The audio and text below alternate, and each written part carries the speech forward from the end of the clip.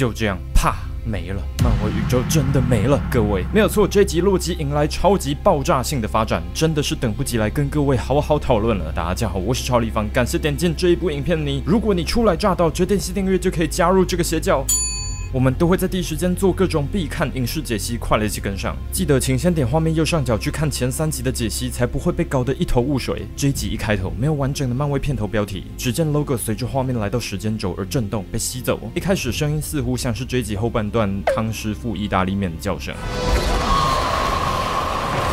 而这个开头有点像是上一季最后一集的开头，同样也是从时间线内部开始，只是这次时间线堡垒碎裂，时间线也化为无数分支。来到内部，时间小姐终于给 Renslayer 看她的大秘密。这个秘密果然就是让我们看到 Renslayer 当初其实是好康的伙伴，与他一起赢得多重宇宙战争，创建 TVA。接下来两人说了这几句：For us, for all time, always. Renslayer, you are quite a marvel. 这段对话就是洛基在第一集时间溜脱的时候，在 TVA 内部录音机听到的同样一段对话。而接下来，郝康又说：“能与你一起领导，我会非常骄傲。”但是仔细注意，他的表情似乎有些闪烁。别忘了，我们在上一集看到，即使是 Victor 这样看似人畜无害的小康变体，都会藏不住自我中心的本质。一听到 Renslayer 想成为伙伴，就把他踢下船。所以郝康在这里说很乐意一同领导，明显也是在说谎。此外，Renslayer 此时还穿着猎人服，他的编号是 A 二三。Avengers 复仇者联盟第二十三集，也就是 Renslayer 在漫画中初登场的集数。在打开传送门之后，康果然叫 Renslayer 先回去，他晚点会跟上。接下来就请分钟小姐执行四十二号命令，下令共和国的复制人士兵屠杀全宇宙的绝地武士。不对，是要分钟小姐抹除所有人记忆。之前也有提到，在 TVA 工作的人什么也不记得，这也是我们第三次提到四十二，在各种科幻作品中是非常重要的数字。不仅是 x 的三次方加 y 的三次方加 z 的三次方等于 k 这个算式中，在 k 是一百的情况之下，最后才被解出来的数字。而四十二也是银河变车指南中超级电脑所给出的宇宙与人生的终极答案。Forty-two。而在蜘蛛人新宇宙电影中，四十二就是 Mouse 穿的球衣号码，也是另外一个 Mouse 的宇宙编号。唯独老欧记得一切，那就更能确定他跟好康有某种特殊关系了。Renslayer 在看了那段记忆之后，瞬间明白一切，更加痛恨好康。他其实是替好康领军的最大功臣，而在战胜其他康之后，也是负责维护创建 TVA 的人。而好康则自己坐在时间箭头发呆。Renslayer 在看到真相之后，决定联手时间小姐，自行成为 TVA 领袖。That we don't need him. Maybe we never did. 接下来，Victor 终于来到 TVA，一转身就看到好康的壁雕。接下来再来到第一集洛基与 Mobius 对话的三幕壁画前，看着诸多康互打的多重宇宙描绘，其中一个很有可能就是他自己。接下来，洛基和 Mobius 出现，不过 Victor 没那么容易被说服。I'm from Chicago, friend, the shadiocracy capital of the world. I don't trust anyone. 就我所知，没有 shadiocracy 这个字，也没有人这样形容芝加哥。但这也不算是无中生有。有些人可能会知道芝加哥跟新竹一样被称为风城，这其中的原因除了风很大之外，还有些人认为是因为这座城市在发展期间的很多政客都很会碰风。总之，Victor 知道在场每一个人都想要从他身上得到一点什么。The effervescent clock lady monster thing wants me. 没有错，他真的是很想要你。不过在 Victor 发现时间引力的问题之后，他终于同意跟上，来到控制中心。我我们看到监控荧幕上的时间分支在被将军删除之后，仍然全部长回来了，眼前一片满江红。长官奉劝 B 十五说服被关押的将军加入他们，而不是直接处决掉他。画面来到老欧和 Casey 身上，可以看到电脑荧幕上显示着引力的正面图。Victor 看到老欧，就如同看到偶像的小迷弟。结果老欧反倒是说他才是靠着 Victor 天才一般的笔记才能写出这样的指导手册。所以这就有趣了，鸡生蛋，蛋生鸡的问题，究竟谁才是写出这本书的人？洛基也想知道。So if your work is based on his work and his work is based on your work, Exactly which came first. 因为漫威的时间是一个不断循环的人，答案应该是两者皆是。所以说这里完全不用考虑到祖父悖论的问题了。两人写这本书并没有所谓的先后顺序，过去、现在、未来同时发生。所以虽然 Victor 是收到 TVA 手册才做出这些发明，同样的，根据他写下来的东西，老欧也才能写出这本手册。不懂也要说懂。更有趣的是，这也可能解释为什么老欧是整个 TVA 之中唯一没被抹除记忆的人。这就代代表 Victor Timely 这个人一直都在，更是一个验证他很有可能确实是郝康本人的证据，而不是最近才出现的变体。老欧这边说。It's like a snake eating its own tail. 就跟他本名 Ouroboros 有关，当然也就是来自古希腊衔尾蛇的概念一样。之前也说到烂了。Sylvie 打断两人激情，老欧赶忙拿出他制作的模型，对他们快死了，但他还有时间做模型。看来老欧是个战锤玩家。开始解释计划，还可以看到引力的模型上特别贴着一个告示牌，说未依照比例。老欧说明计划就是把增幅器拿到外头，发射到引力上，让它自动扩张引力，好容纳更多支线。但问题是，外头的时间衰败辐射远超过增幅器运作的速度。不过这时 Victor 拿出他上一集从工作室带来的发明，十九世纪的科技怎么能无缝接轨 OB 的发明？表示这就可以让增幅器维持运作。Victor 与老欧联手，准备开始工作，但 Sylvie 明显看起来不太安心。毕竟让 Victor 接触到更多 TVA 科技，就等于是让他往好康的路更进一步。不过 Mobius 倒是准备放下了，提议吃个派慢慢等。别忘了，我们之前有看到海报说一个礼拜只能吃一块派，Mobius 又打破规则了，真的是不乖。结果呢，他这一派轻松的态度完全惹恼 Sylvie，进而否定 Mobius 整个活着的意义。You found out you're a variant,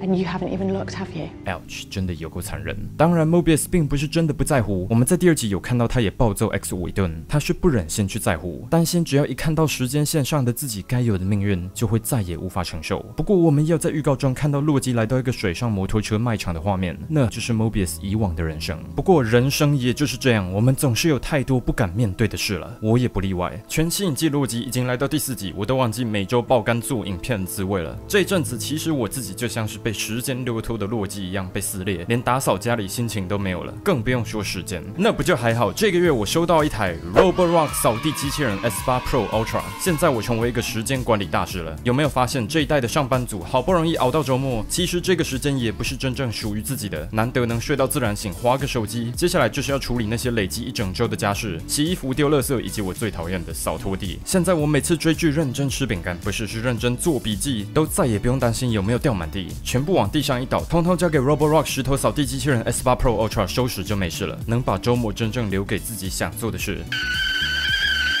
当然，这些扫地机器人也已经接连推出好几代，现在还在那边 Pro，又不是智慧型手机，真的有那么厉害吗？这次有机会实际试用之后，我才终于明白，这已经不是十年前你爸妈买的那种会把墙壁撞一个坑一个洞的笨蛋，原来这才是所谓真全自动扫拖嘛。Roborock 石头扫地机器人 S8 Pro Ultra 有十合一全自动清洁座，不只是用来充电而已，连扫地机本身清洗竟然都可以完全放手，里面头发和灰尘湿臭的拖布都完全不用我们伸手去碰，这台会自动帮你集成，两个月都不用倒垃圾，自动回洗拖布，自动清洗清洁座，自动补水，四十五度 C 双热风烘干拖布，自动添加清洁液，充电速度也加快三十帕，搭配断点续扫功能，频数再大也不用担心。石头扫地机器人 S8 Pro Ultra 还有好几个市面上独家的专属功能，这次业界独家双升降主刷，清洁更深层，避免二次污染，加上高精度视觉加 3D 结构光物品识别，不光可以避障，还可以识别四十种物体，真的太强大了。包含每分钟三千次的双声波震动拖地，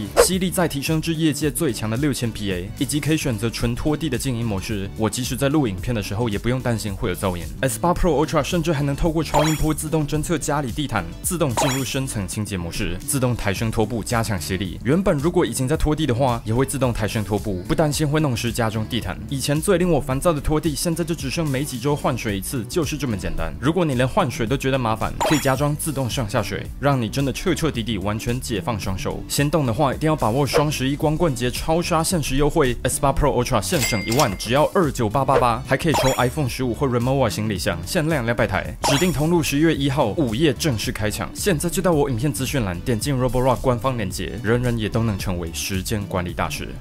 Oh, hell! 来到监禁室，B 十五请求将军帮助，说只要他们愿意帮忙保护 TVA，就能把他们在时间线上原本的人生还给他们。X 五还像当初还是猎人的时候，双手抓在领子上。我们也看到将军的椅子就在洛基前几集用时间方块压扁的小凳子上。画面来到派派餐厅，洛基身后有一个海报写着“带上你的杯子，如果你忘记了，下次记得”。但既然康这么常抹除 TVA 员工记忆，他们下次恐怕也不会记得。这时洛基对 Sylvie 好言相劝，说 Mobius 就只是跟其他所有人一样，见招拆招，在黑暗中摸索。这时洛基回顾起索尔在雷神索尔的故事，说当初他从地球回来变得谦卑。洛基当初以为这是软弱的迹象，但是他现在明白了，硬碰硬在大部分的时候都不是最佳解。Annihilating is easy. raising things to the ground is easy. Trying to fix what's broken is hard. Hope is hard. 这句不仅呼应到洛基第二集说的那句 It's harder 同时也再次展现洛基角色从第一季的成长有多么显著。当初洛基就是执意证明自己的某种存在价值，才会犯下诸多罪行，结果反倒成为故事的反派，成为一个在他人眼中是陪衬英雄的存在。然而他来到 TVA 之后，见证自己在宇宙之中的渺小，真正面对死亡的可能性以及自由意志的徒劳之后，他反倒终于受到解放，认知在既定的剧本中反而才能凿出自己的意义。而这里反倒是他原先羡慕无拘无束、追求自我的 Sylvie，在寻找自由的过程中造成了更多痛苦，却仍放不下执念，认为无条件的自由远胜于混乱的代价。最后，路基直接阐明现在落在他们身上的重责大任。Now, for better or for worse, the timelines are free. It's up to us to protect them. It's up to us to do better than he who remains. Sylvie 又反驳，无论如何，他们都是在扮演上帝。对此，洛基淡淡的回答。We are gods. 这句话语中带的是无奈的认命以及沉重的决心，完美对比洛基最初的傲气。那时洛基认为恐惧和权力就是最大的武器，打肿脸充胖子，耀武扬威，滥用自己在凡人眼中的神性。到后来，对于自己在宇宙中的地位幻灭，现在才终于认知到，无论是因为天命，或者是他自己的所作所为，生而为神就是他身份的一部分。至于这样的神性会带来什么样的后果，就完全取决于他们要如何使用了。又回到求见室，这时轮到 Renslayer 和分钟小姐突然打开传送门先诱导，再用压缩机威胁这群被逮捕的猎人加入他们阵容，夺回 TVA。不过只有 X 五愿意，其他人则是坚决抵制。How does it feel knowing that all of us here would rather die follow you out that door? 分钟小姐二话不说启动方块，直接把其他人压成肉泥。看她那脸上带着兴奋至极的表情，真的是有够恐怖。没过多久，B 十五回到牢房，看到这骇人景象，马上拿起时间平板，没想到已经被分钟小姐侵入，完全无法运作。这也明显在致敬《侏罗纪公园》中类似桥段。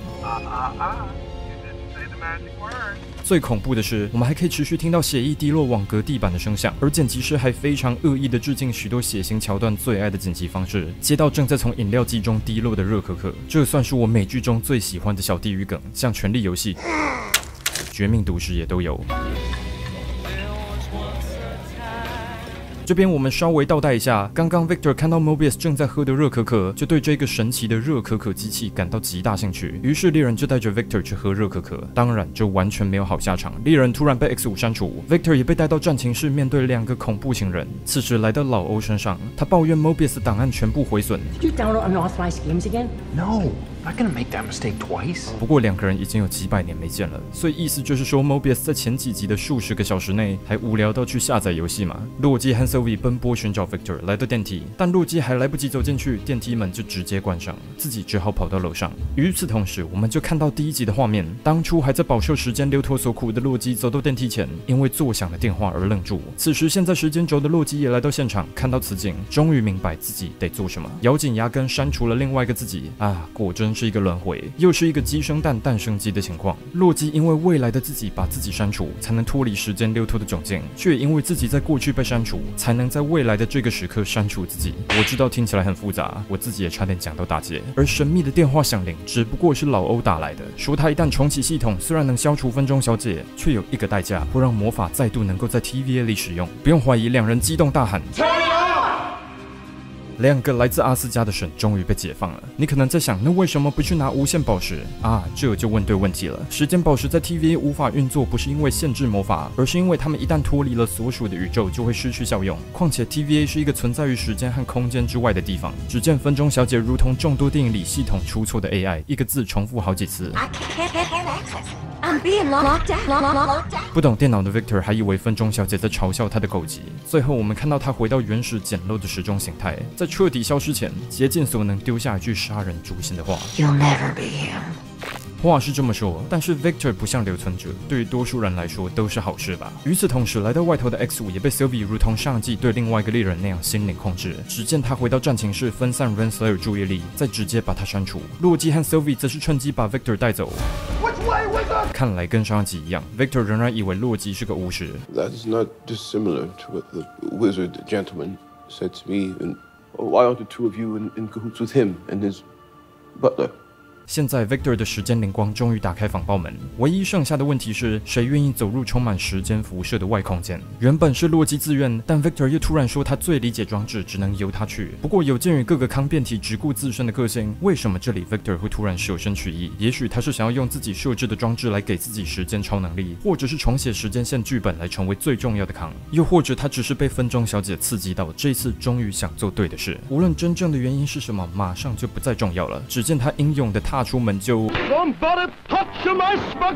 啊，对哦，老欧在第一集就有说，如果在时间辐射下待太久，就会像被吸入黑洞那样化为意大利面。因为现在时间辐射的强度已经大幅提高，所以 Victor 不管多快也都没有用。而控制中心门外的地板也写着警告说，一旦经过这扇门，被意大利面化的几率就会提高七千爬。现在我们终于看到下场是什么样子了。仔细看，还可以看到他在被变成面条的过程中露出骨头，再加上压缩机，这一集真的是充满惨不忍睹的画面。不过注意看的话，还可以发现他死后身体飘出一股蓝光，可能就是他的时间灵气。这种细面死法，也让人联想到当初汪达对付惊奇先生的手感粗面方式。麻烦你鱼丸粗面，木有粗面，以及更重要的蚁人与黄蜂女量子狂热中巨大蚁人被消灭的方式。因为当时他是太过于靠近坏康故障的时间引擎，所以可能是因为时间辐射才变成意大利面。现在万念俱灰，洛基一群人只能眼睁睁看着时间引力崩垮。这里从一个角色移到另外一个角色的手持运镜，不免让人想起当初萨诺斯弹指之后的场面。最后时间引力就这样发出刺眼爆炸，所有的时间线就这样纠缠碰撞。啊，可怜的洛基终究还是故事中的反派，尽管再怎么努力，还是免不了让宇宙受苦。没有时间引力的约束，会不会更容易发生奇异博士二之中所说的宇宙冲撞？又或者会不会在这之后，我们所熟知的漫威宇宙将不复存在？现在这点画面上连接看更多影集解析，也可以看一下我个人觉得更精彩的《黑袍纠察队外传 V 世代》。我是超立方，我们下部影片见。